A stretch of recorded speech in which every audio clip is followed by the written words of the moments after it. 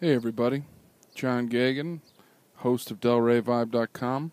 As you can see, I'm back in Delray, sitting here at the corner of Delray and Mount Vernon. I took a little hiatus for the U.S. presidential election, but we're back. The summer's coming. We got all kinds of uh, episodes scheduled for you, so we're excited. We're back in town. We want to hear from you.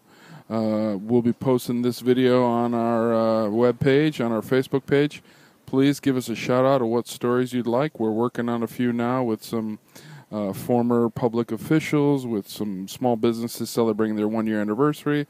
All kinds of stories coming that are related to everything we love here in Delray education, dogs, our children, all kinds of uh, culture and arts. So we're excited. We'll see you soon.